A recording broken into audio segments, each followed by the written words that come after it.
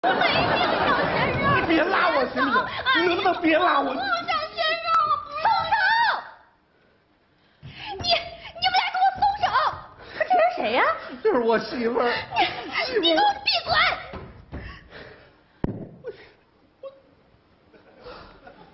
小丫头片子，你什么情况呀？大姐大妹子，你给评评理哈。那个，他是我的男网友，我是他的女网友，我们两个在一起都网恋半年了，今儿见面，嘿，他不承认。媳妇儿，媳妇儿，一定要淡定，压根儿就不是这么回事儿。不是这么回事儿，怎么回事儿？你赶紧去给我解释清楚。对。我跟你说，我刚才拿一手我不听，我不听，我不听！好我，你竟然敢背着我找女网友了！我还敢约在这儿见面？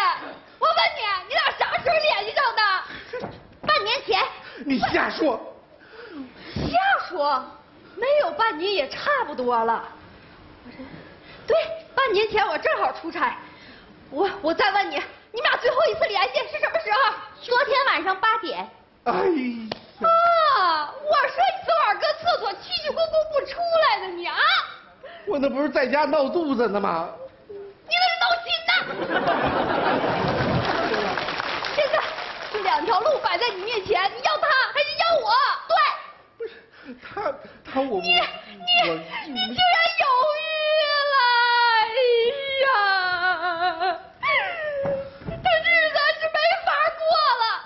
我天天给你缝缝补补、洗洗涮涮、炒菜做饭、生儿育女的我，你居然媳妇儿，你只生儿没育女，不许虚报产量。媳妇儿啊，我跟你说呀，真的不是那么回事儿，她不是我的女网友，那她是谁的女网友？她是二驴子的女网友。谁是二驴子？二驴子，我就就是不，我哪知道谁是二驴子呀？这个二驴子呀！